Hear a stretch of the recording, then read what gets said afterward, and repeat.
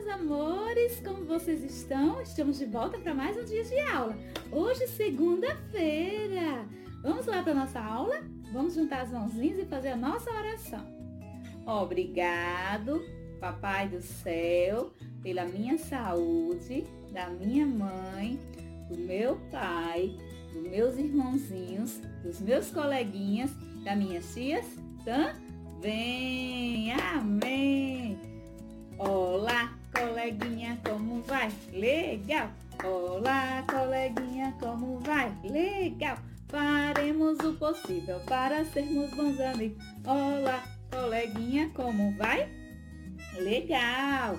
Olá, tia Yuri, como vai? Legal! Olá, tia Yuri, como vai? Faremos o possível para sermos bons amigos. Olá, tia Yuri, como vai? Legal! Lá pro alto. Respira bem fundo, porque meu Deus é grande, muito grande. Ele nos leva para a esquerda, para a direita, para trás e adiante. Por isso que eu sou feliz. Ser feliz, quero te ver batendo palmas. Ser feliz, quero te ver bater o pé. Ser feliz, quero te ver piscar os olhos. Se é feliz e quer poder acreditar, se é feliz, quero te ver a gargalhar. Ha, ha, ha! Bater as mãos, bater os pés, piscar os olhos, a gargalhar. Ha, ha, ha! Muito bom! Que bom estarmos de volta. E quem está assistindo minha aula hoje? Quem será? Quero ver, hein? Vamos ver aqui. A turminha da tarde. João Nicolas, meu lindão. Cecília Almeida. Cecília Brito. Júlia Mota. Cecília Melo. Elisa. Maria Heloísa. Pedro Nivaldo.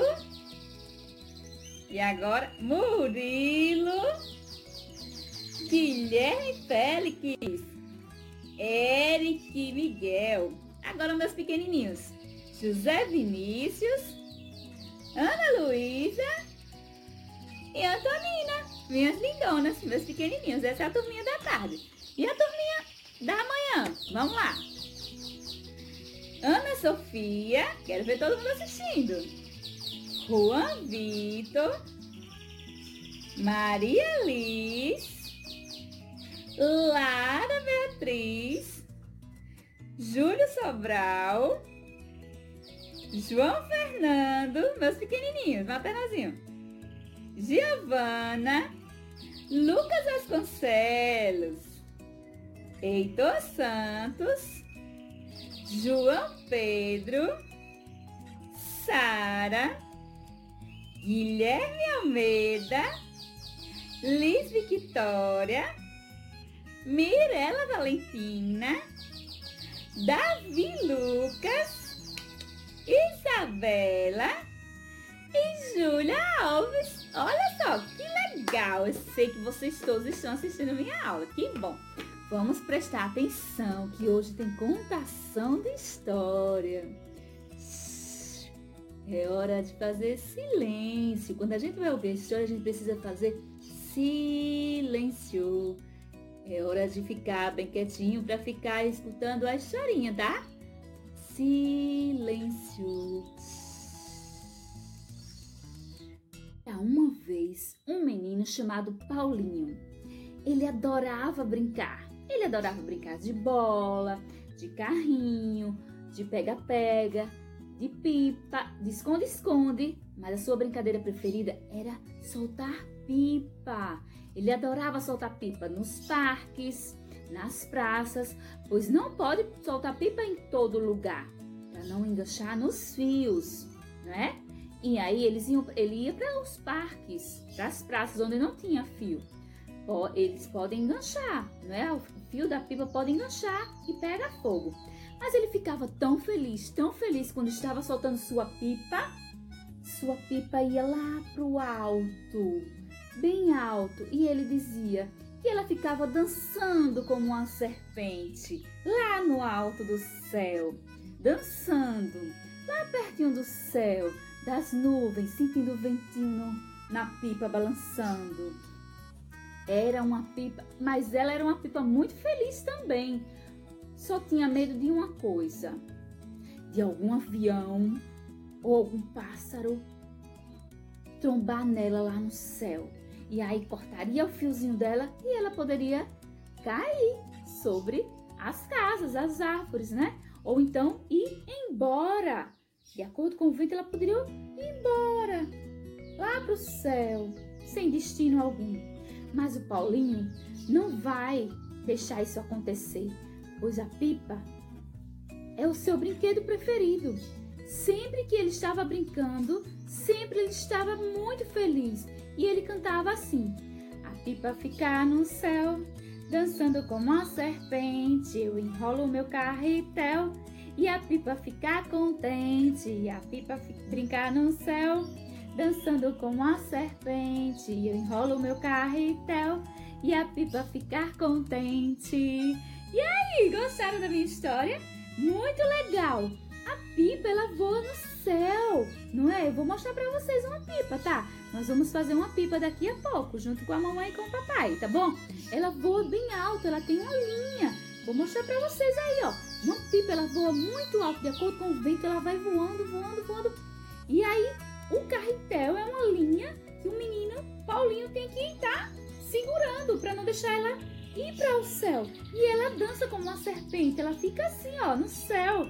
Então foi aí que o Paulinho disse: a pipa brincar no céu, dançando como a serpente, enrola o meu carretel e a pipa ficar contente. Muito bom! Gostaram da minha história? Muito legal, não é? Mas hoje a gente tem uma tarefinha bem legal para vocês fazerem aí com a mamãe e com o papai. Vamos para nossa tarefa? Vamos lá!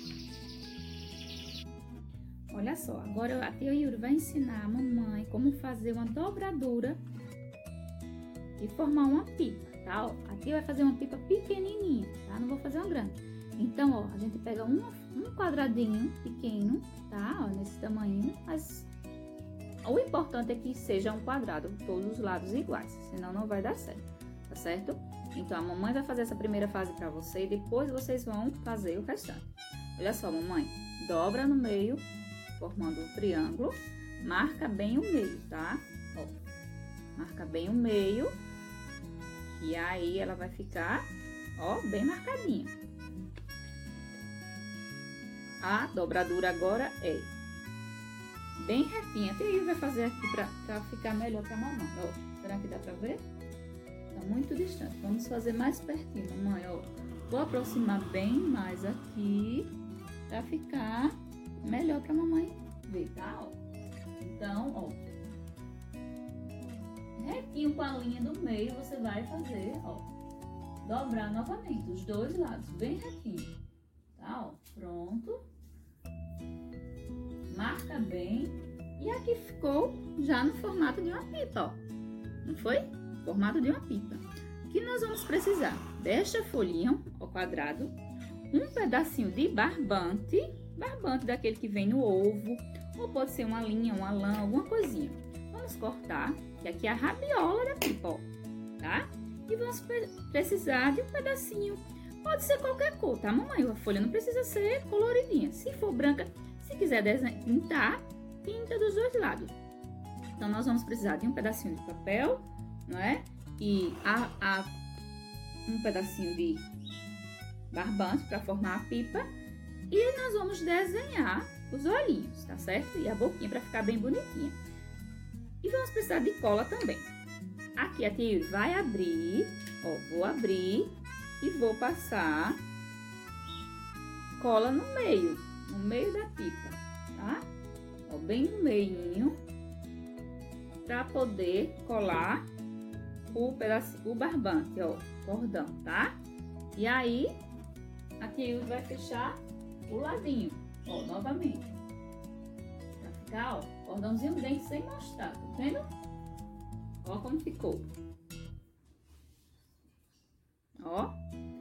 Pra ficar mais bonitinho ainda a nossa pipa, A tia Yuri vai fazer lacinho, lacinho. A mamãe vai fazer aí uns lacinhos, tá? Olha só como faz os lacinhos. Pega um retângulo fininho, corta um retângulo fininho. Se não tiver folha colorida, pinta para ficar mais coloridinho. E aí vocês vão cortar assim, ó. Na diagonal se formando parecido com um triângulo, ó. Pra cá. Dá um espaçozinho para não ficar muito fino. Pra cá. Olha só que formou um lacinho, mamãe. Mamãe vai fazer isso pra você, ó. Um lacinho, tá? E aí eu vou fazer três lacinhos, ó. Cortou pra cá. Corta pra cá. E corta pra cá. Corta pra lá. E corta pra cá. Pronto. Tenho agora três lacinhos, tá? Ó. E aí eu vou colar na nossa rabiola, ó. Coloca ela mais pra cima um pouquinho. Olha só como vai ficar linda. Hum, segurou ali. Vou mostrar mais de perto, tá? Ó, nossa, nossa rabiola, que é essa pipa aqui, esse, esse cordãozinho aqui que faz a pipa subir lá para o alto, lá para o céu. Olha só. Daqui a pouco eu mostro mais de pertinho para vocês. Tenho três lacinhos, vou colocar os três, né? Isso faz com que a pipa fique mais bonita, não é? Ela vai subir lá pro alto bem mais bonita, tá bom? Olha só que lindo. Agora, vou colocar bem mais pertinho, tá? Mesmo que vocês não me vejam, mas vocês vão ver aqui. Olha só. Vou fazer o olhinho da pipa. Ela fica... Porque a, a história do Paulinho diz que a pipa ela é feliz. A pipa não é triste, não é? A pipa é feliz. Olha só. Sorrisinho da pipa. Ela é feliz. E Yuri, para enfeitar mais ainda, eu vou colocar uns lacinhos aqui de, do lado também. Só que tem que ser menorzinho. Não é, ó? Vamos fazer um lacinho para o ladinho também. A mamãe vai ajudar vocês, tenho certeza disso. Só que tá muito grande, ó. Feita aqui do lado também, ó. Coloca um pouquinho de cola e faz, coloca uma pipa. Isso, ficou legal, não ficou? Ficou lindo. Nosso laço vai ficar lindo. Então, assim, olha só. É,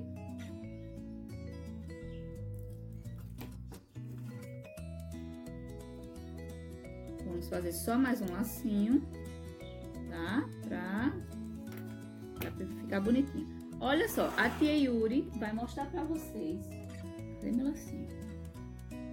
Que a pipa, com que letra começa a palavra pipa, tá? Vou mostrar pra vocês agora. Deixa eu só terminar o lacinho aqui, tá bom? Pronto. Aqui, mais um lacinho. Agora eu vou mostrar pra vocês, tá bom? Olha só, agora a Yuri vai ensinar a escrita do nome pipa? Vamos identificar. Vou aproximar aqui que vocês vão prestar atenção. Olha só. Pipa, ó. Pi. Tá dando pra ver? E vai fazer mais grossinho. Pipa começa com a letrinha P. P. Ó, pi, p, olha só.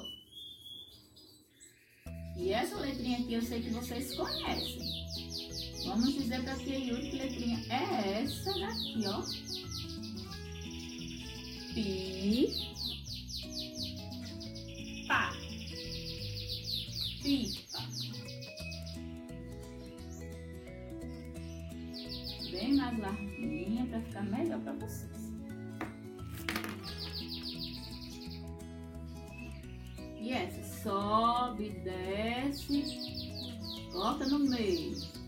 Sabe que letrinha é essa? Tenho certeza que vocês sabem. Essas duas letrinhas em vermelho, pintadinha de vermelho, tenho certeza que vocês sabem. Vocês vão dizer para tia Yuri que letrinhas são essas. Olha só. Vamos lá? Essa daqui, quem sabe que letrinha é essa? Vamos lá, bota mais pra trás. Letrinha I, né? A vogal I, ó. Essa daqui, letrinha I, a vogal I. E essa daqui, a letrinha A, a vogalzinha A, não é? Inicia-se com a letrinha P, não é? P de pipa, né? E na, na palavrinha pipa, nós temos a letrinha I e a letrinha A, não é? As vogais A, E, I, O, U. Temos a letrinha A, não é? Que é essa daqui. E temos a letrinha I. Não é legal? Muito bom, não é? Vocês gostaram? Então, vamos lá, vamos fazer. A nossa tarefinha de hoje é essa, tá, mamãe? Não tem tarefinha de folha hoje. Hoje vocês vão confeccionar a pipa junto com eles e vão trabalhar as vogais I e a vogal, a vogal A, tá bom? Letrinha P só para eles visualizarem. Começa com a letrinha P. Quantas letrinhas P tem? Uma, duas. E quantas vogais tem? Uma, duas. A vogal I e a vogal A, não é? E, e aí, entenderam direitinho? Muito bem. Mostra pra mamãe que você sabe fazer a palavra pipa e identifica as vogais, tá certo? Mostra pra ela direitinho. A mamãe vai ajudar vocês. Vocês vão terminar a pipa, tá bom? Com a mamãe, fazendo o olhinho, a boquinha. A rabiola também vocês podem ajudar, tá certo? Então, confecciona lá direitinho e posta no Instagram, marca o Colégio Sagrada Família, que a tia vai dar uma olhadinha, tá bom? Por hoje é só. Fiquem com Deus. Até a próxima aula.